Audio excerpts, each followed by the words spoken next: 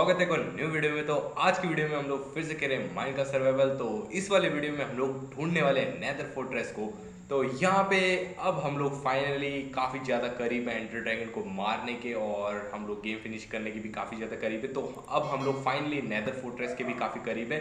तो यहाँ पे चैनल पे न्यू हो तो प्लीज़ सब्सक्राइब बटन को ज़रूर से दबा देना और वीडियो को लाइक बटन को भी ज़रूर दबा देना। तो उससे काफ़ी ज़्यादा मोटिवेशन मिलता है और काफ़ी मज़ा आता है। तो यहाँ पे ढूंढना चालू करते हैं, यहाँ पे फोर्ट्रेस तो गाइज़ यहाँ पे नेदर फोर्ट्रेस ढूँढने के दो तरीके हैं। पहला तरीका तो ये है कि आप मेन वर्ल्ड का एक कॉपी बना दो और उसमें नेदर फोर्ट्रेस को लोकेट कर दो और फिर ओरिजिनल वर्ल्ड में भी वही लोकेशंस होती हैं कोऑर्डिनेट्स के तो उससे आपको नेदर फोर्ट्रेस मिल जाएगी। तो दूसरा तरीका ये है कि आप पूरा माइन करते रहो, जन्म बिता दो और फिर भी मिल जाए तो पता नहीं। तो यहाँ पे मैंने फ़र्स्ट वाला तरीका यूज़ किया है और यहाँ पे मेरे को नेदर फोर्ट्रेस मिल चुकी है। जैसे कि ये माइनशाफ्ट की तरह होती है, वैसे नैदर फोर्ट्रेस और मतलब थोड़ा सा तो दूर रहती है मेन वर्ल्ड से मेन जहाँ पे आप स्पॉन होते हो।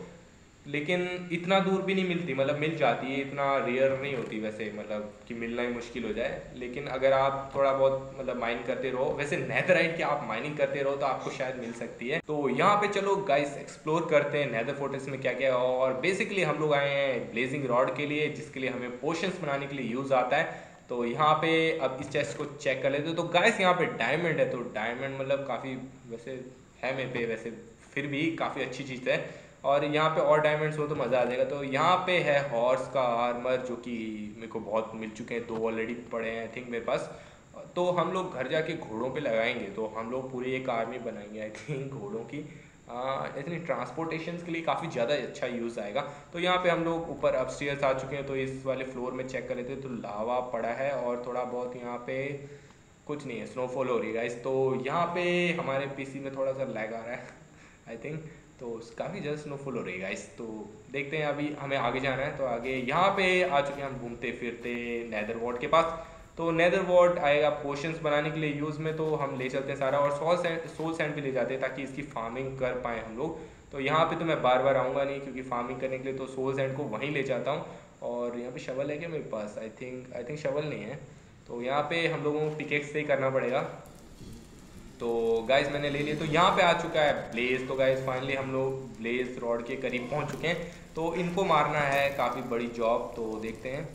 तो सबसे, वैसे मेरा वो काफ़ी ज़्यादा पावरफुल है और मैंने इसमें इन्फिनिटी इंचार्टमेंट लगा रखी है मतलब इन्फिनेट एरोस रहेंगे। लेकिन फिर भी मेरे को थोड़ा बहुत तो डर रहता है। और वैसे मैंने गाइस बता दूँ, मैंने नेदराइट का आर्मर पहना है, जो कि पिछली वीडियोस में मैंने बनाया था।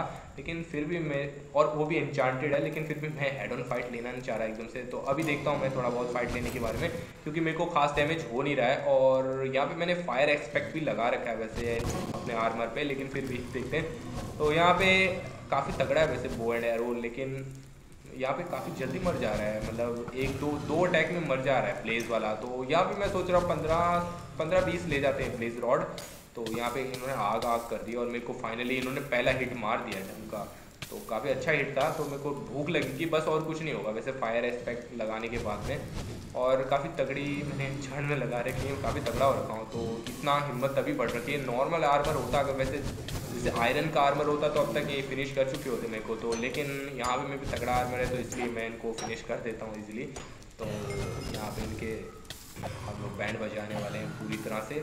तो यहाँ पे काफ़ी सारी इन्होंने ब्लेज रॉड दे दिए गाइस और अभी भी काफ़ी ज़्यादा स्पॉन हो ही जा रहे हैं। तो यहाँ पे थोड़े बहुत टॉर्चेस लगा दो, क्योंकि ज़्यादा स्पॉन हो रहे हैं तो इतनी हेड ऑन फाइट्स लेनी भी थोड़ा टफ है। और यहाँ पे काफ़ी ज़्यादा मैं इस बार थोड़ा डैमेज हुआ मेरे को, दो हार्ट तो एटलीस्ट गए मेरे। और काफ़ी ज़्यादा इन्होंने आग लगा दी पूरे एरिए में। तो अब फाइनली मैंने काफ़ी सारी इसमें टॉर्चेस प्लेस कर दी हैं स्पॉनर में तो काफ़ी कम निकलेंगे अब इसमें से। लेकिन जितने निकलेंगे हम उसे इजीली पकड़ पाएँगे। अगर चार, पाँच तो एक साथ में देख सकता हूँ। वैसे अभी जो आर्मर और मेरे पे टूल्स पड़े हैं तो यहाँ पे फाइनली हम लोगों ने सारे प्लेस को मार दिए, जितने मतलब हमें चाहिए थे तो हम लोग आ चुके हैं घर। तो ये है वो सारी लूट जो हमने नेदर फोर्ट्रेस से करी है। और एक डायमंड मिला बेसिकली मतलब हाईलाइट्स तो बाकी आर्मर मिला, जो कि काफ़ी मुश्किल से मिलता है। और यहाँ पे हमने मुश्किल से 20 ब्लेज रॉड मतलब काफ़ी ज़्यादा है वैसे ब्लेज रॉड 20 करनी और एक ब्रिंग स्टैंड हम लोग बना लेते हैं और ताकि हम लोग यहाँ पे पोर्शंस बना पाएँ। तो गाइस चलो अब हम लोग फ़ार्मिंग करते हैं नैदर वोट की। तो यहाँ पे मैं सोल सैंड लगा देता हूँ। तो यहाँ पे मैं ज़्यादा फैंसी सा नहीं बना रहा इसके लिए। तो यहाँ पे हमें चाहिए नैदर नैदरवोड काफ़ी सारा। तो यहाँ पे बस मैं फार्म सा बना देता हूँ और इसमें नैदर वोट उगा दूँगा और बाद में तोड़ दूँगा जब बड़ी हो जाएगी। तो इसीलिए मैं ज़्यादा बड़ा फार्म नहीं बना रहा हूँ और क्योंकि मेरे पे ज़्यादा नैदर वोट है भी नहीं ज़्यादा लगाने के लिए और ज़्यादा सोल सैंड भी मैं लेके नहीं आ रहा था। वैसे चेस्ट में पड़ी है, पिछली वीडियोस में जब मैं आयरन फार्म बनाना था तब मेरे को सोल सैंड चाहिए था, तब के लिए मैं लेके आया था वैसे।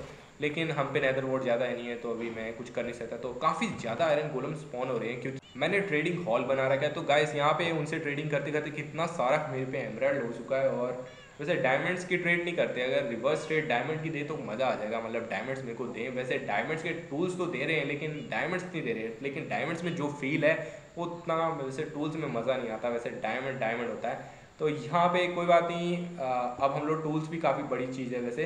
तो यहाँ पे ब्रूइंग स्टैंड हमने प्लेस कर दिया है। तो अब इसमें हम लोग पोर्शन बाद में बनाएँगे अपकमिंग वीडियोस में। तब तक के लिए वीडियो को लाइक करना सब्सक्राइब करना और चैनल को मतलब बूम पाम कर देना। थैंक यू मिलते हैं नेक्स्ट वीडियो में।